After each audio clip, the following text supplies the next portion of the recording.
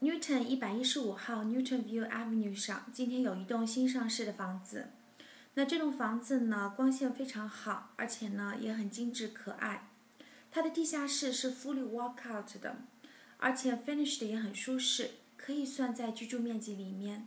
所以呢，将原先一千六百尺左右的房子呢，变成了一千九百多尺的房子。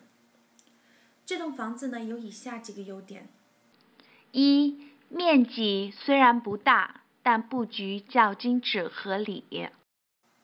虽然一楼的厅不大，而且呢和餐厅连在了一起，但是呢将这个分隔的墙做成了 built-in 的 bookcase，还是非常得体别致的。而且呢厨房的大小适中，整个布局呢也非常适合家用。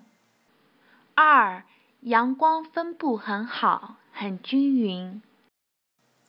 整个房子的窗户很多，在这个厨房的正当中呢还有一个 skylight。即使在阴天，光线感觉还是不错的。尤其是地下室，自然光线很好，感觉很舒适。三，主卧室的落地玻璃窗以及 built-in 的 bookshelf。主卧室呢非常舒适，洒满阳光，view 也不错。而且呢，在卧室中有一个 built-in 的 bookcase，对于爱书或者爱收藏的人来说呢，是一个 plus。这个房子的缺点是：缺点一，两间小卧室。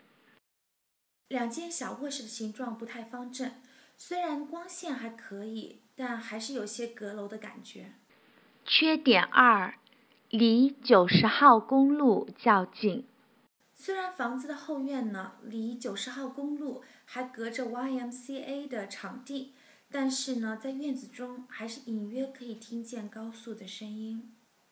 如果你对 Newton 这个城市感兴趣的话呢，可以看一下我写的关于 Newton 这个城市的简单介绍。